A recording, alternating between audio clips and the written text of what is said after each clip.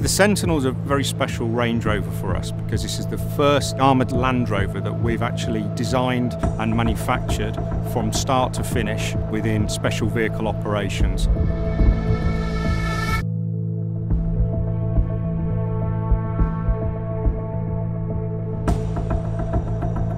The Range Rover Sentinel is assembled at the Special Vehicle Operations Manufacturing Facility because we have a state-of-the-art, fully flexible site. This vehicle should only stand out for being a Range Rover autobiography and not for its armoured nature.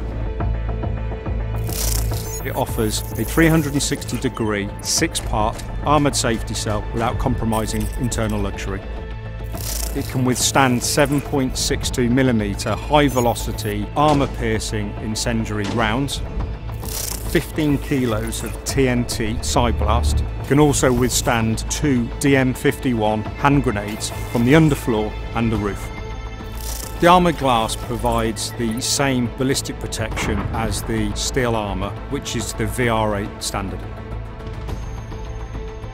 The ability to go off-road for a Range Rover vehicle is paramount to its DNA.